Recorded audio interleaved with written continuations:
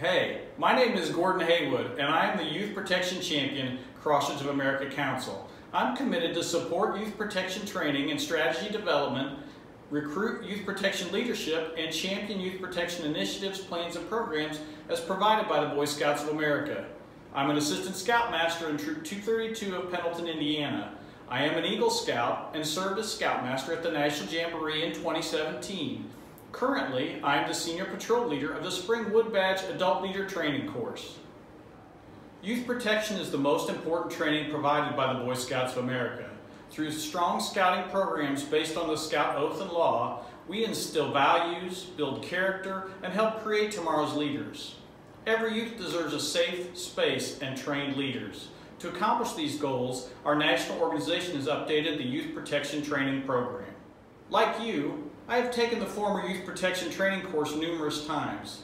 You might be asking, what is new? Featuring testimonies from experts and fellow scouters, this program feels more like an interactive documentary than a training course.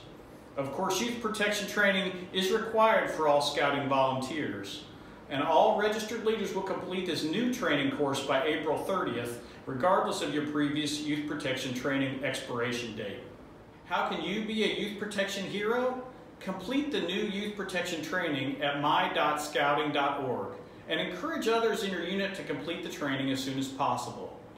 Watch the Crossroads webpage and social media for more tips about this change. Thank you for your support of Scouting and for being a youth protection hero.